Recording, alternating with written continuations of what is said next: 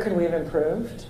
Um, well, you know, I think I can tell you where I was when the CNN feed came that it was 95% effective, um, the vaccine. So many of us wanted to be hopeful. So many of us wanted to say, okay, this is our ticket out, right? Now we're done. Um, so I think we had perhaps too little caution and too much optimism um, for some good things that came our way. I, I really do. I, I, think all of us wanted this to be done.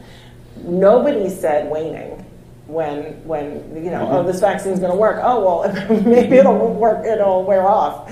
Um, nobody said, well, what if the next variant doesn't, it doesn't, it's not as potent against the next variant.